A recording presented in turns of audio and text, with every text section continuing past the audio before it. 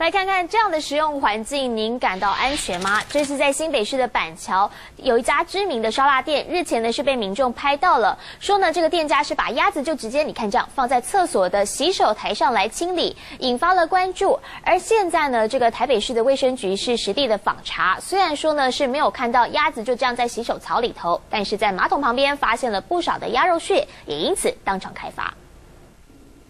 旁摆了一个大水槽，鸭子正泡在里面。再往左边一看，洗手台上全是等待解冻的鸭子，竟然在厕所马桶旁边清洗。很难想象这样的画面竟然出现在板桥知名烧腊店的厕所。因为马桶在旁边呢，就觉得很恶心。我也是，那个最好不要去吃。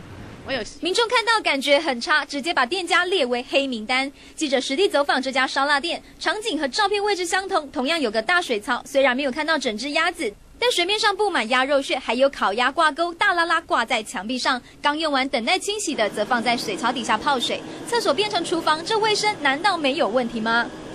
都不要的，那个不是，那个不是吃的，那是只是说，因为我们东西烤完之后。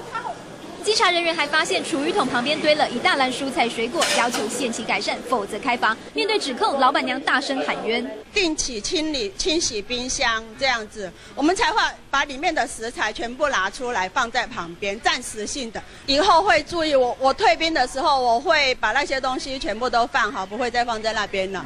也欢迎你们随时随地都来检查。老板娘承诺下不为例，只是这家烧腊店不仅地方知名，网络上也小有名气。这会出现卫生问题，民众要问：这就是我们吃的烧腊吗？中天新闻台北综合报道。